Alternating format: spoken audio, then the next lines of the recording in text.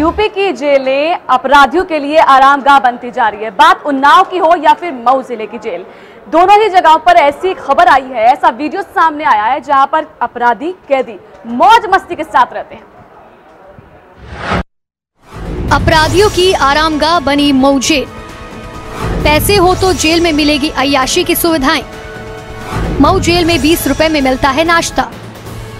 Jail में पैसे देकर खाने की चीज़ें खरीदते कैदी। मऊ जेल में बिकता है नशे का सामान। जेल में चल रहा है हेरोइन गांजे का कारोबार।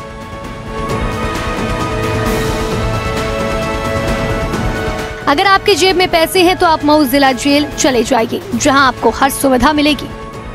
जेल में बीस रुपए में भरपेट नाश्ता मिलता है तो वहीं हर महीने दस हज़ार रूपए देने पर नशे का कारोबार करने की इजाज़त भी मिलती है। तस्वीरों में आप साफ़ देख सकते हैं कि कहीं हीटर पर खाना पक रहा है तो कहीं रोटियाँ सेकी जा रही हैं। तो कहीं प्रतिबंधित चीज़ों का खुलेआम सेवन हो रहा है।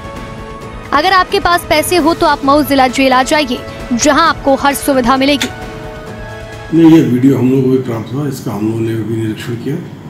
ये वीडियो स्पष्टता देखने में लग रहा है कि वहाँ ज़मीन सूखी हुई है, जबकि कल हम लोग जेल का निरीक्षण किए थे वहाँ जेल पानी लगा हुआ था। और आज भी लगातार पानी बरसा है। ये आज का वीडियो नहीं है काफ़ी पहले का लग रहा है क्योंकि इसमें कुछ लोग ट्रैक सूट भी पहने कोई कंबल भी ओढ़े हैं।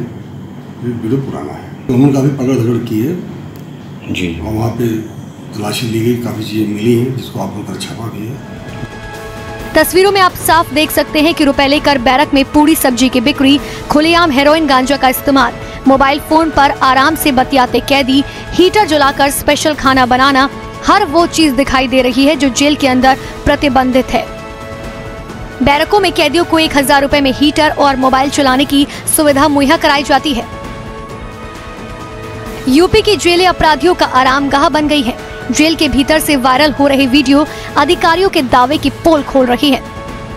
ऐसे में सवाल उठना लाजमी है कि जब अपराधियों को जेल का भी डर नहीं रहेगा तो कानून व्यवस्था कैसे दुरुस्त होगी? आए दिन जेलों से जो तस्वीरें सामने आ रही हैं उससे जेल प्रशासन के दावों पर गंभीर सवाल खड़े हो रहे हैं। आपका अपना चैनल हिंदी खबर। इस वीडियो की पुष्टि नहीं करता। जाहिद इमाम, मऊ, हिंदी खबर।